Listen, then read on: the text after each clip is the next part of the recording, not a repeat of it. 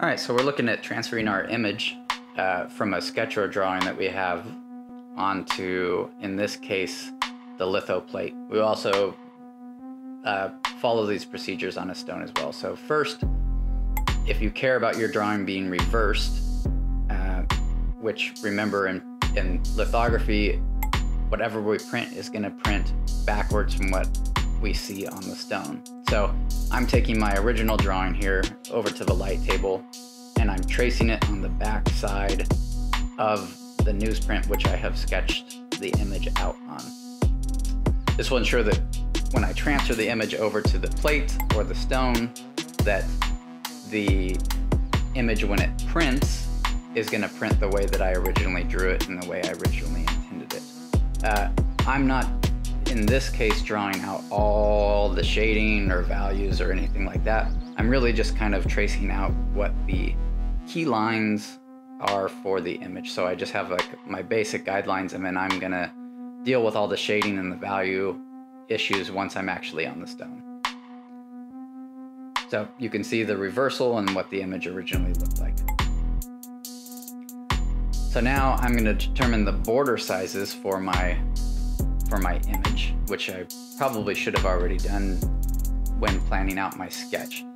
So you can see kind of like the common paper sizes that we use. So uh, the sheet of printmaking paper is 22 by 30, so I want to work in sizes that you saw the 7.5 by 11, 11 by 15, 15 by 22, or the full size of the 22 by 30.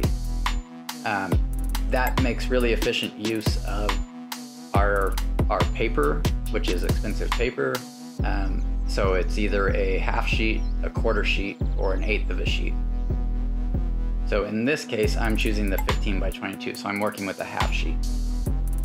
Your uh, paper needs to be able to fit fully onto the plate. So I need, I don't want any of my edges hanging over because when it runs through the press, it's gonna be a bit of a, a mess. You'll get the indentation from the, the pressure that's put down. You might get scumming on those edges. So I wanna make sure that my paper fits fully onto the plate here. So and I also need to consider where it lies on the plate. So here I'm looking at the 15 by 22 versus my image size. I've mapped out that I have two inches on all the edges and three inches at the bottom.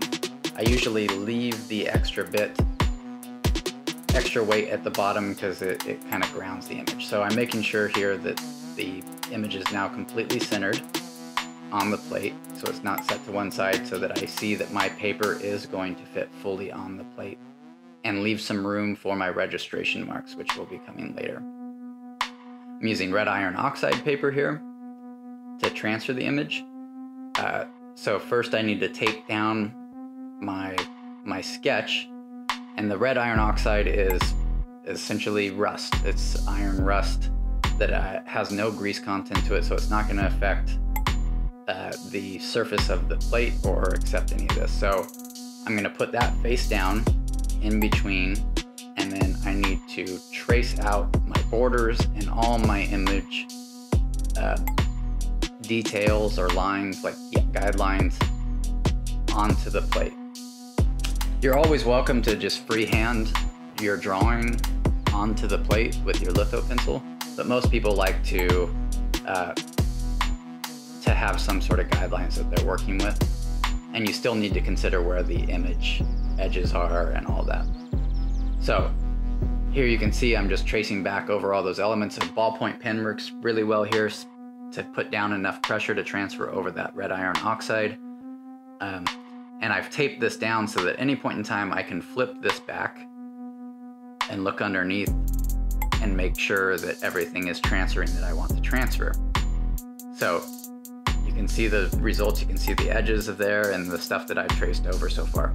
I am tracing here with the same color ballpoint pen that I used to do the, the original drawing. Uh, it is helpful if you use like a different colored pen, like let's say a green pen or a red pen, so you can see exactly what you've already traced back over.